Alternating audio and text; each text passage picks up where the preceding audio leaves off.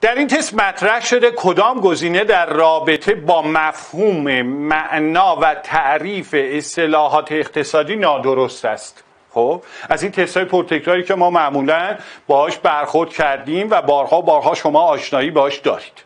حالا ما باید ببینیم که کدام گزینه در رابطه با اصلاحات در واقع اصلاحات آقا یه بار دیگه ببخشید.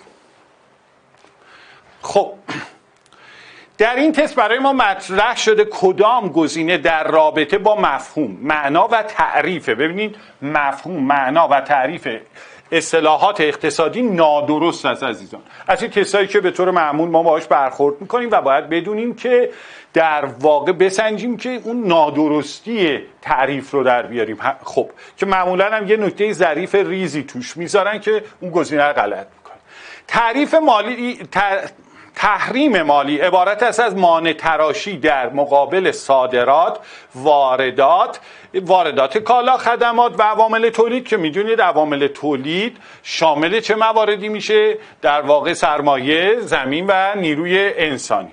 در صورتی که در واقع شما عزیزان من می‌دونید تحریم مالی عبارت است از مانع تراشی در مقابل صادرات و واردات. پس این گزینه اول غلط هستش که نادرسته جواب اونم میشه گزینه یک.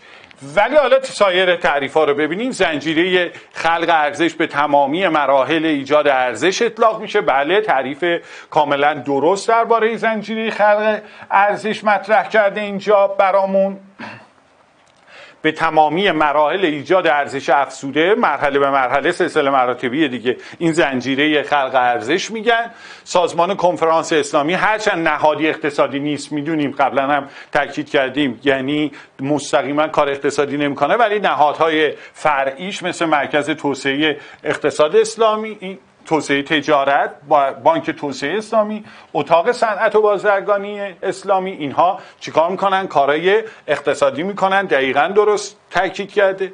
کالاها و خدماتی را که تولید آنها بدون توجه به میزان سود هزینه و بازار انجام می شود محصولات راهبردی میگن که یادمونه چقدر تاکید کردیم که وظیفه دولت در این زمینه و در واقع حمایت از محصولات راهبردی و نیاز اقتصاد جامعه برای پیشرفت به این محصولات چی هست؟ دقیقا درسته اینا مستقیما برای کسب سود انجام نمیشه اصلا وارد اون بحث پروسه بازار که هزینه و سوددهی و قیاس اونها هست نمیشه.